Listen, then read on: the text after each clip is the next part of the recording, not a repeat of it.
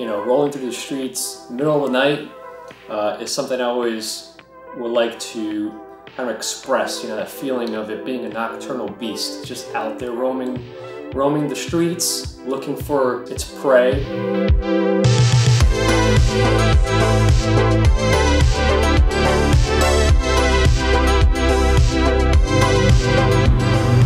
I like driving this car tunnels sometimes because the sound is just amazing.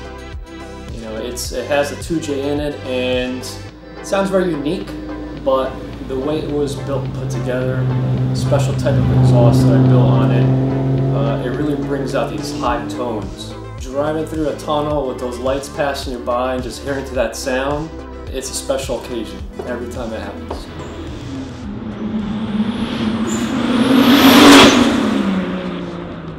I've had a Supra for uh, 14 years or so, and I've worked with 2Js for a very long time. Uh, built the one that's in my current car, uh, it's doing very well. So working on those motors, to me, the fact that I know how to work on them makes it easy for me to maintain a car.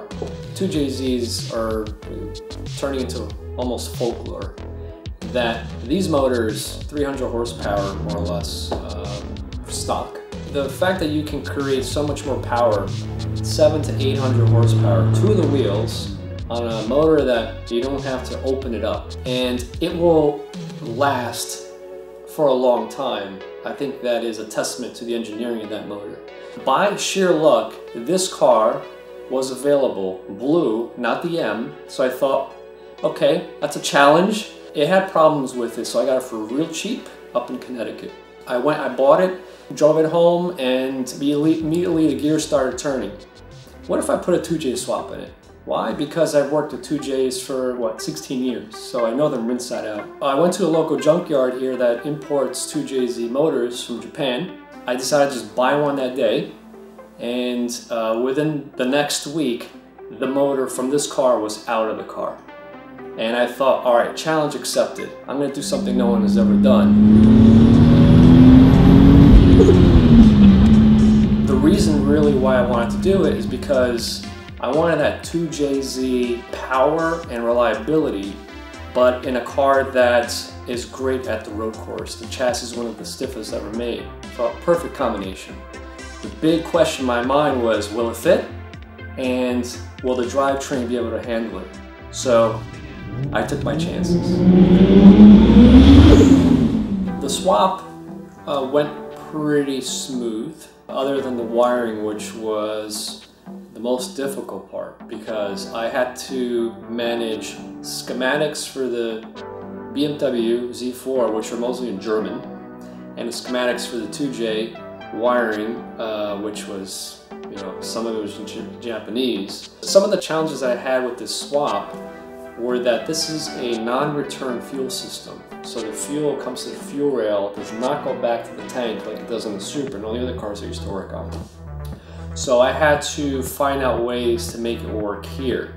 So it is running a returnless fuel system, which is the new thing. The other one was a throttle body. This car comes with a drive-by-wire, where the, Z, uh, the 2JZ is a uh, regular uh, wired throttle uh, system. Other than that, everything kind of fit, which is a surprise to me.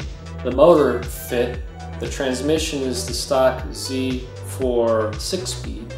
Uh, that not only fit, obviously I have a custom plate that attaches the transmission to the motor, but the drive shaft was just the right length. I didn't really touch anything on the back end of the car. Last I dynoed it was 560 and change, 565 to the wheels. It's a lot of power, but it feels like an OEM car. Um, everything works. All the electronics work. Uh, all the gauges work. There are no lights. You know, the car just felt like it came from factory like this.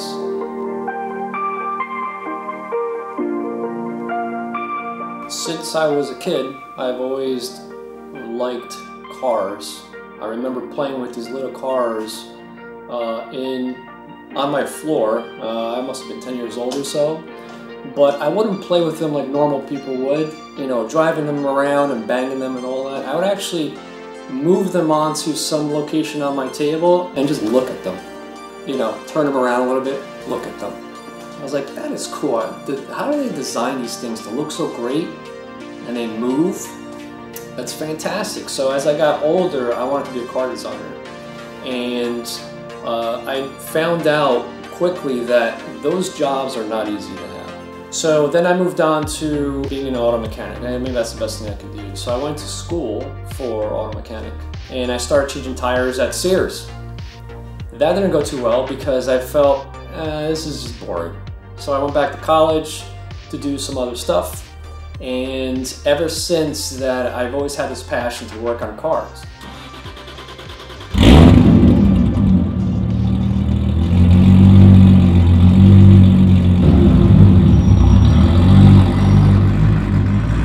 Far as inspiration to getting to where I am, I kind of went my own way.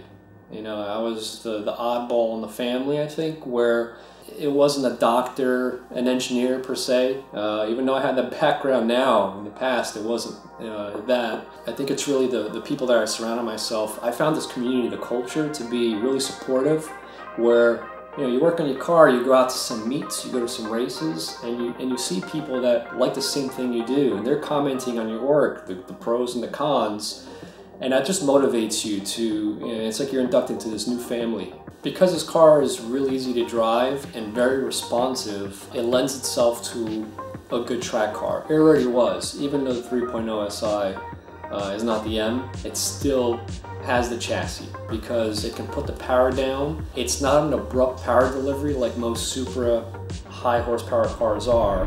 Uh, I've tuned it so that I get more of a linear torque rise. So coming off of the apex, when you start adding in the power, you can just gas it all the way and it will inch you up there nicely. It really does not step out. This car has introduced me to a, another world of auto enthusiasts, which are the guys that are out there doing HPEs, road racing, and you get a sense of, hmm, maybe a thousand horsepower isn't as important as you thought it was. Tires, brakes, suspension, that is as important, and driver. So it kind of got me into this realm of maybe I need to work on me driving the car and just don't worry about the power. So I'm kind of, my mindset is changing a lot with this car. What I tried to keep with this car was uh, a very OEM look, where if you pop open the engine, uh, the, the hood, and you look at the engine, you may not even realize that it's a 2JZ. And at some shows, I've had a lot of those uh, comments. But after a while, they see the turbo, because sometimes they don't see it first, and they're like, oh, it has a turbo. He did a turbo uh, swap onto the uh, BMW motor, but then they look a little further and they see VVTi Toyota. Like, oh, wait a minute, this isn't normal. So it catches them by surprise. I put a TRD badge on the side of the car. TRD is Toyota Racing Development, or there are high performance parts that Toyota uh, has for standard vehicles. And you kind of hear folks just look at your car and say, hey, that guy has a TRD badge a fool. Uh, and then later on, uh, you know, when I have a car sitting there and the, the, hood popped up, you see them coming around and they'll, you'll just hear them say, this is the car with the TRD badge. And they'll snicker and kind of laugh.